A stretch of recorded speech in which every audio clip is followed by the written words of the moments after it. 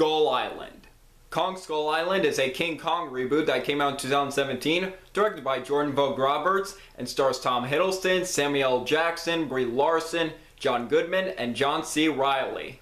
It takes place after the Vietnam War, where a team of scientists and military explore an uncharted island known as Skull Island to map out the surface of the island until a huge gorilla known as Kong separates them into groups.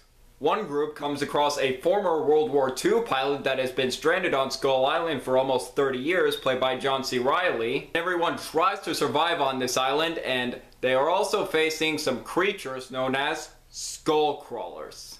Back in 2017, I remember being excited for this movie. I was looking forward to this movie. I like King Kong and I really like the 2005 King Kong movie directed by Peter Jackson.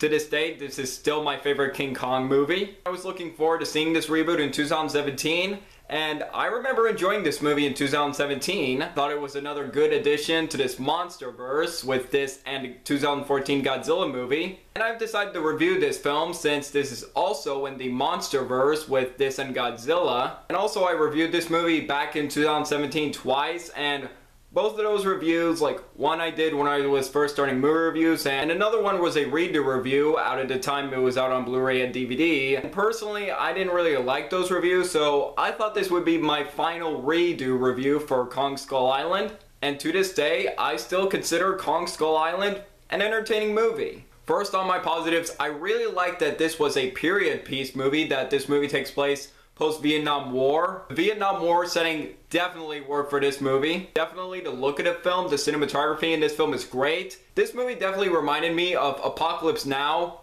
but with King Kong, and I really like that. And I also really like the soundtrack of this movie, using a bunch of 70 songs in this movie, and I also thought that worked well, being in this Vietnam War era setting. I also like that this was a different King Kong movie, different to other versions we've seen. People going to Skull Island to shoot a movie, and main actress starts a bond with Kong, but it wasn't like that. It was a different Kong story, and I liked it for what it was. This film being a very well shot and well directed movie, and I can definitely tell this film was shot on location, and it was used very well. I really liked the location, getting the scope of Skull Island, it looked all great. And the effects on Kong, I thought were great. They definitely did a good job of making Kong feel like he's there and making him feel huge. And I really like the design for Kong in this movie. Although I do prefer the CGI in the 2005 film, I still really like the CGI in this movie. And I also like the creature effects too. The skull crawlers, the spider in one scene.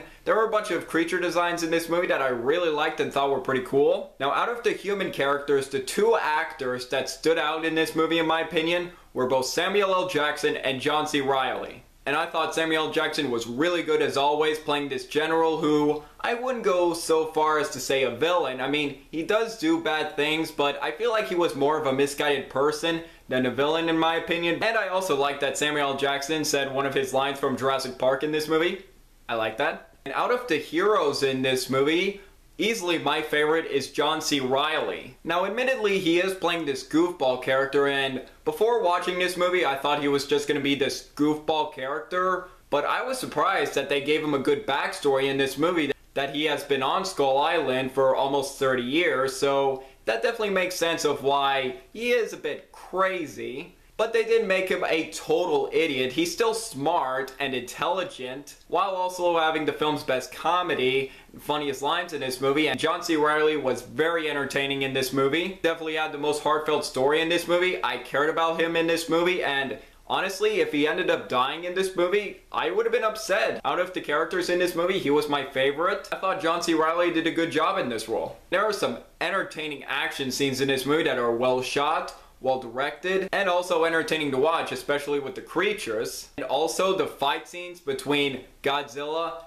and the Skullcrawler, very entertaining to watch. I really like those sequences. Another sequence I liked in this movie was the sequence that takes place at a graveyard with the Skullcrawler, the group trying to survive. I really liked that scene. It was well shot and exciting. Really liked that scene. Sadly, I do have some flaws with this movie. I will get to those right now. First, a common criticism for this movie is that the characters don't get a lot of development and I will admit There are some human characters in this movie that don't really get a lot of development, and there were still some good performances in this movie. I wouldn't say this was a poorly acted movie. Tom Hiddleston does a decent job, but his character is a bit underdeveloped. He's mostly a tracker guy, and they tried developing him in this one scene where he talks to Brie Larson about his dad and just wasn't quite enough to make me just root for him and to care for him. And I love Tom Hiddleston. I think he's great, but I felt like his character was underdeveloped. He was decent in this movie, but bit underdeveloped. Brie Larson also did a fine job, but another underdeveloped character. She's mostly just there as a photographer, and it's pretty much it. And one character in this movie that I felt like was unnecessary was Toby Kebbell's character. I didn't feel like he added that much to the movie, and honestly, if he was just cut out this movie,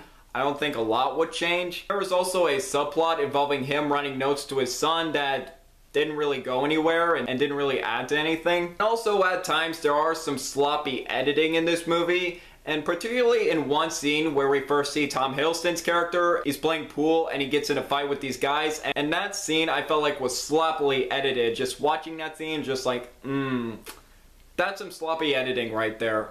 And finally, there are some iffy looking effects here and there that didn't quite look so good. There were still some good effects in this movie, but a few just were a bit iffy. But overall, I think Kong Skull Island is an entertaining monster movie, and I enjoyed watching it. It's another entertaining film in the MonsterVerse, and honestly, choosing which one I enjoy more, Godzilla or Kong Skull Island, which one would I watch more, which one I thought was more entertaining, honestly, I would say Kong Skull Island. I really like that this was a period piece. Samuel. Jackson and John C. Reilly are great. There are some entertaining sequences, good effects.